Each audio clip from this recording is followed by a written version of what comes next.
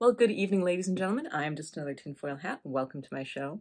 Today, we are going to be discussing the Point Isabel Misty Mystery, or effectively Point Isabel 2.0. Now, again, this occurred in the Point Isabel, Ohio area at a remote farmhouse.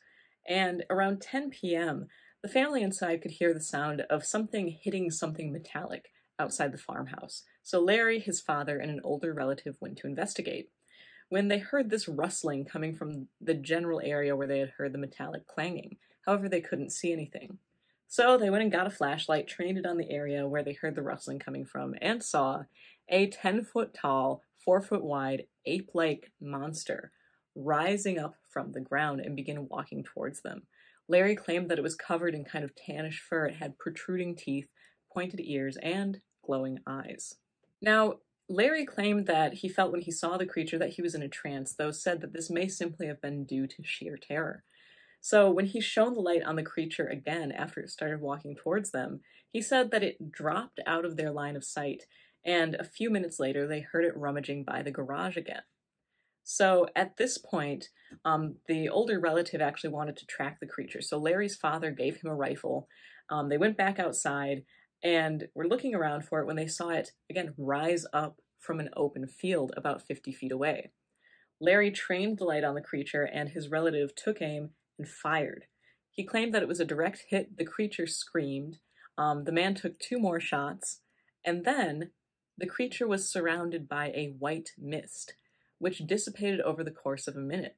When they ran over to the area to check for blood or any trace of the strange being, surprise, surprise, nothing was there. So again, this case is really interesting, especially because it occurred in the same area that another really bizarre, vaguely Bigfoot-esque, but also definitely very distinct from other Bigfoot encounters, um, encounter occurred, and that was Mrs. Lister's sighting, again covered in a previous video. Um, in this case, too, you know, you have this vaguely hairy hominid type creature, but they said that, you know, it was very distinct. It had these protruding teeth, pointed ears, you know, possibly something more in line with dogman encounters. Which, speaking of Dogman encounters, um, the mist reminds me of something Linda Godfrey mentioned across some of her works, that bizarre mists are definitely affiliated with these bizarre cryptid encounters. Um, and very often it almost seems like um, kind of like their escape route or where they come from. You know, these bizarre mists almost appear at these transitional times, whether the creature is vanishing into them or coming out of them out of thin air.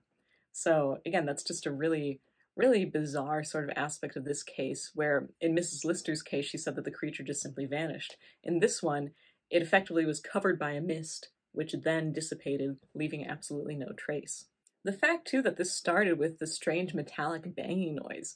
Um, this is something that's been noticed across the board in paranormal research, especially with poltergeist encounters. A lot of poltergeist encounters um, include bizarre machinery noises or the sound of metal hitting metal, along with other types of manifestations. The same with UFO encounters. There's sort of this machinery type sound which is involved with it. And here we have, you know, for all intents and purposes, a cryptid encounter which also has the metallic banging noise.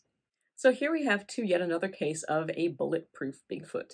Um, yet again, this is just one of so many different encounters where someone fires straight at one of these bizarre beasts and definitely believes that they have hit it. The beast even will respond, even though it doesn't respond by actually appearing wounded. Um, in this case, it did kind of howl or scream, but then after two more shots, again, it just kind of vanished into this mist and left absolutely no trace that it had been injured at all. No blood.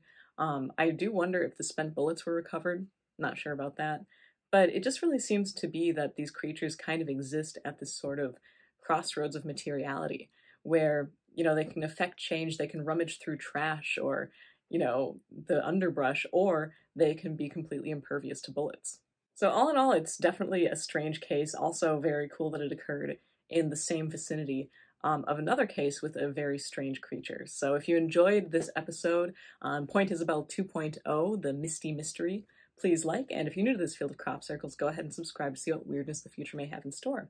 Till then, you can keep up with whatever else I might possibly have going on on my free blog on patreon.com slash just another tinfoil hat. And for today, I am Celia Edgar, signing off. Doing.